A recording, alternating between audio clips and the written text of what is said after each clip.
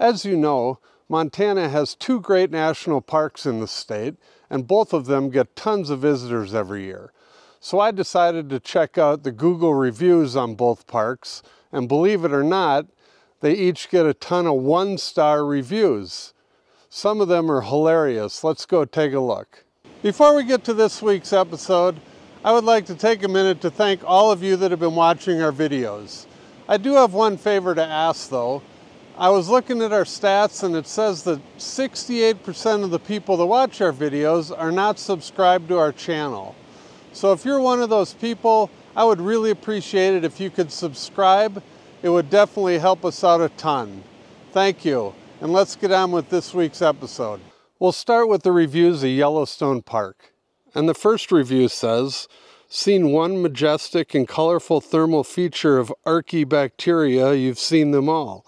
They don't even let you touch the geysers, and there's only black and grizzly bears, no panda, polar, or cave bears. I'm not sure what a cave bear is, but we'll have to check with Fish, Wildlife, and Parks to see if they can do something about that. The next one says, we went camping here, by far the worst place I've ever camped.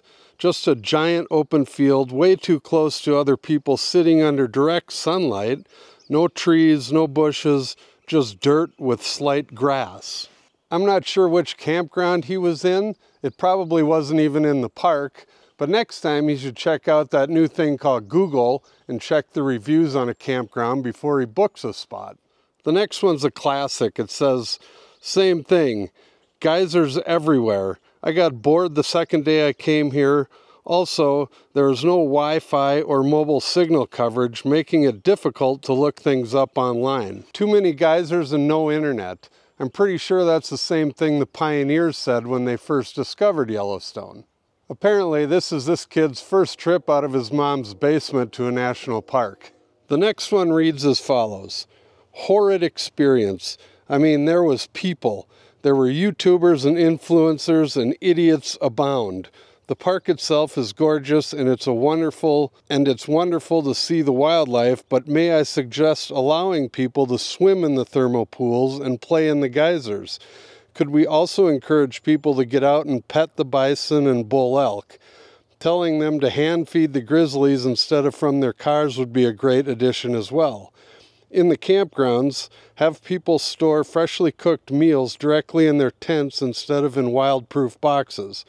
Taking these steps would help with the people problem. Well, this guy makes some interesting points, and it would definitely cut down on the amount of people in the park. And then we have this one. Although some stones were yellow, they were by no means the majority, and to be honest, not high quality stone either. Would not recommend if you are a fan of yellow stones. I guess there's a comedian in every group. And then we have this gal who said, Smelled like sulfur. Ruined the experience. Would have been pretty if I was like my sister and couldn't smell anything. Apparently this girl didn't do very well in her earth science class, and I bet she's going to be disappointed if she checks out the different hot springs around Montana as well. And then we have this guy. Y'all really need to get more bison, plus no Wi-Fi around the park. Y'all should be ashamed. Apparently it was this southern boy's first trip out of the basement as well, and when I call Fish, Wildlife, and Parks, I'll ask them about the bison and see what we can do about adding more bison. So it's not only Yellowstone getting the bad reviews, Glacier Park gets its share as well. This guy says, I came to Glacier National Park to see glaciers, and they're almost all gone. I still had to pay full price to get in, though.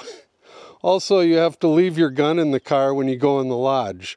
I thought America was the land of the free. Apparently this person missed the 10,000 articles that have been written about the melting glaciers. And last time I checked, there has never been a bear attack inside one of the lodges. I think you're okay with your gun out in the car. And then we have this one. Very, very dog unfriendly. Park rangers are not friendly at all. They need to take a course from the employees at Disney World who have to smile at all times not accessible to campers, no parking at the trails. Then when you do park to hike, they give you a ticket. No handicap parking sites at the hiking trails, so not handicap accessible. Beautiful park, but not at all dog friendly, even though you can have dogs at campsites. Poor friendliness and welcoming by park rangers. I'm guessing that the park rangers weren't smiling because they were dealing with a bunch of people who thought they were at Disneyland. So about 99% of the other bad reviews for Glacier were about the vehicle registration system that we talked about in a video I just did a couple weeks ago that I will post at the end of this video.